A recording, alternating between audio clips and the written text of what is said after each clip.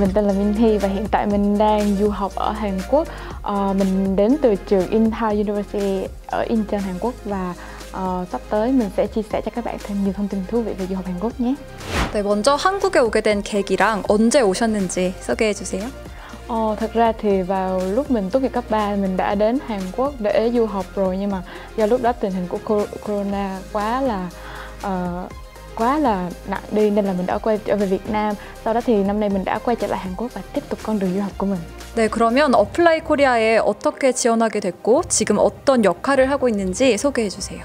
Ờ, đầu tiên thì mình đã thấy được uh, một cái mẫu quảng cáo của Apply Korea ở trên SNS. Sau đó thì mình uh, đã đăng ký vào và với hy vọng là mình có thể uh, hướng dẫn cho các bạn cũng như là giúp cho các bạn có thể hiểu thêm nhiều về du học Hàn Quốc thông qua Apply Korea. Sắp tới thì mình dự định sẽ giới thiệu cho những bạn có mối quan tâm về du học Hàn Quốc uh, những uh, hot place ở Hàn Quốc cũng như là những uh, uh, trend makeup cũng như là fashion đang trên xu hướng ở Hàn Quốc để có thể um, giúp đỡ cho các bạn uh, biết thêm nhiều và đến gần hơn với Hàn Quốc thêm một bước nữa. Uh, mình mong là mọi người có thể tìm thêm được nhiều thông tin hữu ích thông qua Apply Korea cũng như là uh,